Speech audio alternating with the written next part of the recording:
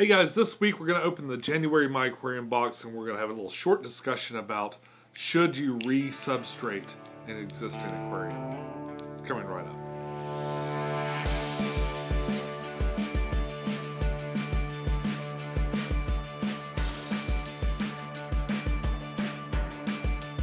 Hey YouTube, this is Pecktec and I've got the January My Aquarium box and we're going to break this open right now. Got a Christmas present from Mike. This is a cool knife. And uh, we'll be using it this month.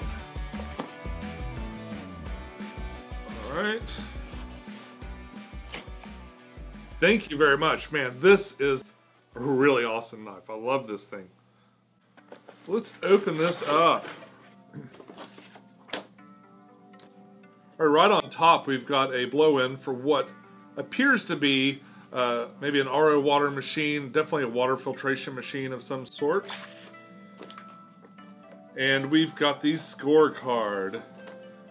This month's value is $38.95. And here are the sponsors. Now what I don't see are the Mega Box winners or anything like that, so maybe, I don't know if there's another card. That's interesting, that's the first time I've seen it blank on one side.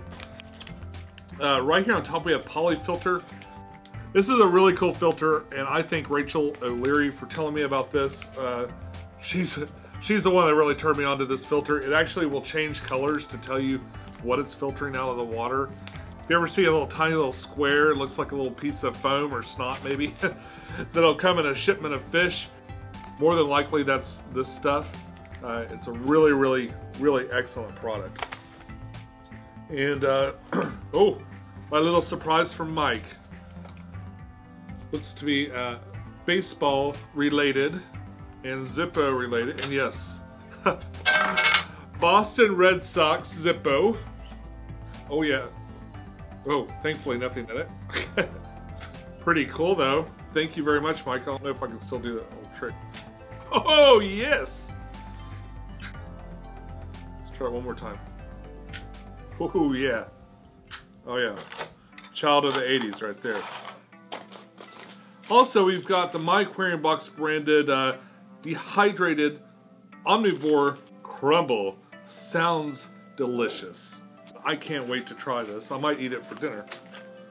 Uh, oh, I've got something that says 4KP, and it is reef hermit crab shells. Wow, that's kind of neat. A whole bag of hermit crab shells for Kerrigan. She has any hermit crabs yet, but that's pretty neat. Those are pretty. She might like to put those in her tank anyway.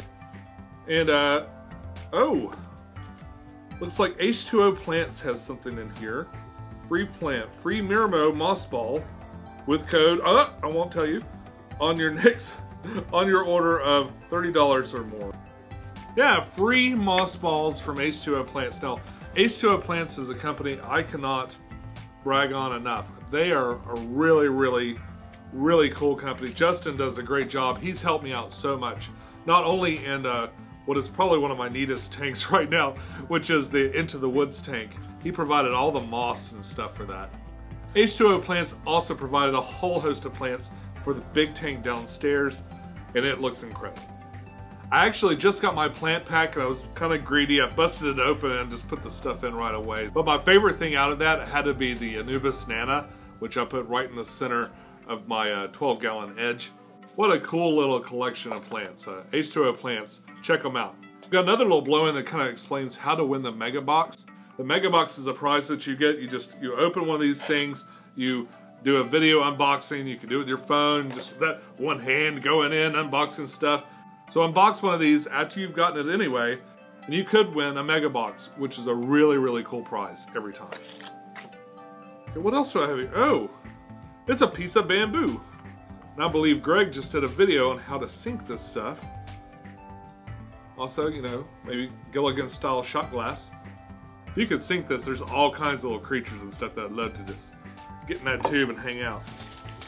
Speaking of which, this looks to be a Pleco cave.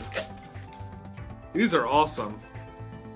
I don't know what it is about these things, but my Plecos instantly run to these. It was great too, is like uh, when I was switching tanks all I had to do is uh, stir up some trouble inside of my tank, uh, catch some other fish. My Pleco ran straight into this, just picked it up, capped it, and took him over to the new tank.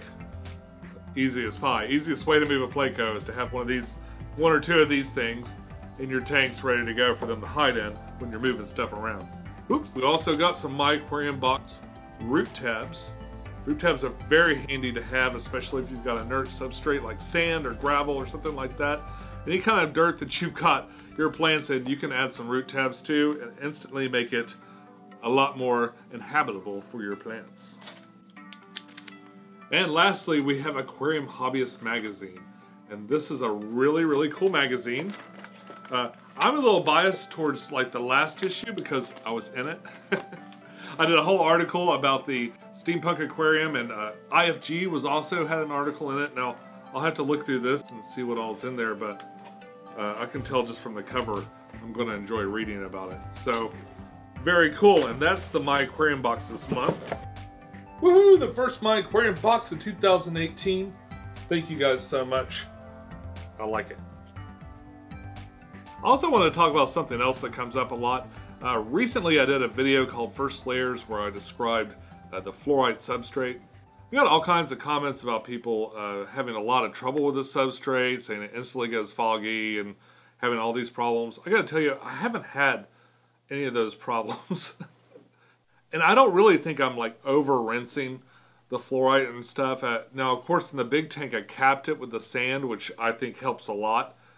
But in other tanks, like the the one with the zombie head and the one with the uh, the fluval flex, uh, that's basically Flourite black, which might not be as bad as the brown, maybe, but basically I treat them all the same. I, I do the same thing each time uh, I work with one of these substrates. And a lot of times with the active substrates like ADA aqua soil or uh, any of those those type of soil substrates, I don't rinse them at all. But basically what happened to me uh, the first planted tank I set up was this 30 gallon. If you go back in my update videos, you might be able to find it. So that was the first tank I set up with substrate in mind, right, you know, I knew it was going to be a planted tank when I set it up. And so I picked substrate and I picked Flourite uh, for that. Basically, I did Flourite and nothing else, and I rinsed it one time, uh, and I put it all in a bucket. I put a hose in there, I let the water flow, and I let the water flow over it for a little bit. Then, of course, I poured the excess water out, and I poured it in the tank. And then I, and I planted it the best I could and I filled it up. This was all way before I did a YouTube video. I had no videos at this point. So anyway, I filled up the tank and it was literally a big brown square for about maybe a week to two weeks. I did eventually flush all that stuff out and it ended up looking really spectacular different periods of time in its life. But all you can do at that point is really just kind of wait it out, wait for that stuff to settle. But if you rinse it off in the way I've described in like the flex video or uh, the first layers video, you really should not have much problem. All you got to do is fill it up in a very gentle way. If you let a bunch of water run right through that substrate and then back up, of course you're going to get some cloudy water. But I'm not getting anything from Seachem or any other brand to tell you to buy one or the other. I honestly don't care what kind of substrate you use. There's a lot of great options and I just picked the ones that have worked for me in the past. There just seems to be a lot of misconception that that stuff's instantly foggy and there's no way around it. And I gotta tell you, I've made video after video where I go from nothing to the tank fully set up in a day and uh, there's no fog. Or very little. You should, when you get that kind of white cloudiness in your tank, that's not the substrate, that's usually just the cycle starting to happen. New aquariums do tend to be a bit foggy at first. And that really drives at the main point of this whole thing. Uh, really, if you want to change your mind and do a planted tank, adding substrate that works great for plants to your tank that's already established is probably a bad idea. I think what you'd be much more happy with is uh, finding a temporary home for your fish. Uh, use the existing filter, bring all the fish out in the filter and as much of the water as you can into a, like a regular glass tank and house them while you completely reset the other tank. And by that, I mean pull everything out, get all that substrate out, replace it with whatever you're going to replace it with, refill the tank again with as much of the original water as you can, let it sit for a day or two to make sure it's, uh, everything's okay, and then move the fish back in. If you try to add Flourite, especially if you haven't rinsed it, even if you've rinsed it a whole lot, if you put Flourite in through a body of water, you're going to instantly get a cloud of mud.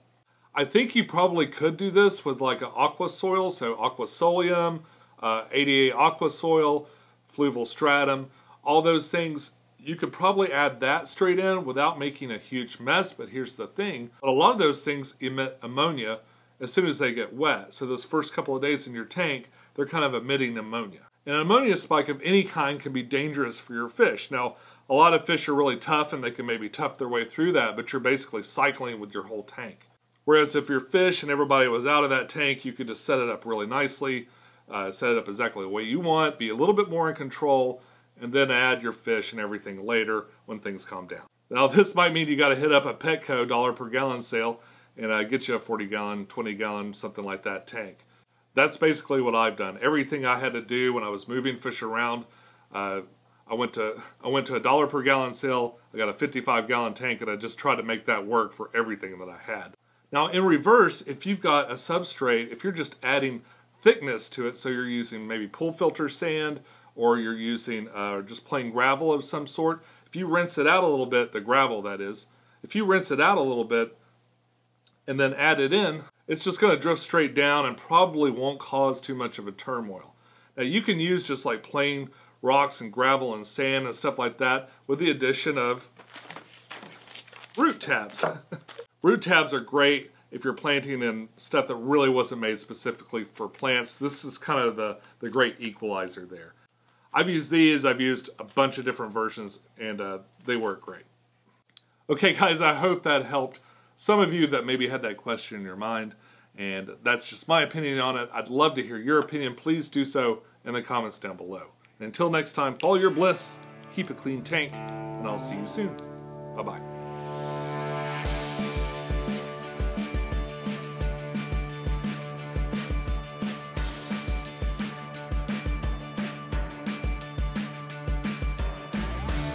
Hey YouTube, this is Pecktec and I stuffed my teeth.